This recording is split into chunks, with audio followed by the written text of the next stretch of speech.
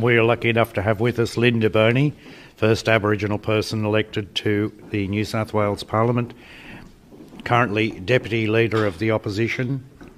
Linda.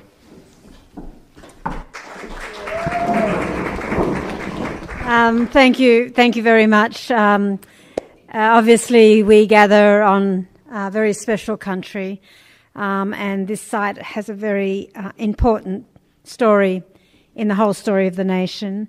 To Gordon and Elaine, um, and to Paul, uh, whose book is sitting there. He tells me I might want to read it. I, he said, um, I said, my life's out of control at the moment. He said, perhaps you should read my book. so, so uh, thank you, Paul, and the other Paul Gordon. Is Paul Gordon here? Okay.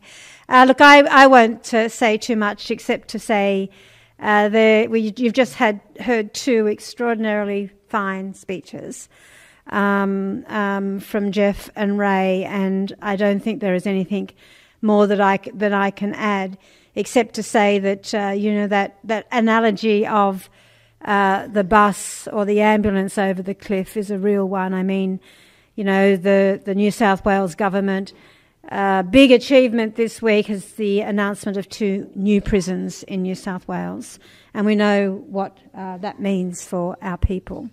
Uh, but on a very positive note, uh, I accepted the invitation to be a special guest today uh, because this man's work greets me every morning. The first thing I see when I walk out of my bedroom is a beautiful large canvas uh, that Gordon uh, gave me when my husband passed away. And it says, uh, to, Rick, uh, uh, to where the wildflowers bloom, um, Rick, for Rick Farley. And then, of course, uh, in my office at Parliament House, I have the most beautiful office of the whole place, which wouldn't surprise you, and it's not hard.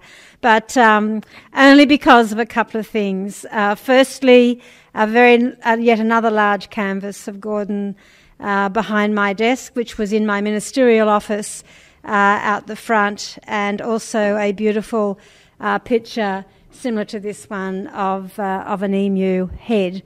And those three paintings are extremely special to me, and I see them all every day, several times a day. Uh, so uh, Gordon's work features large in my life um, and tells some beautiful stories.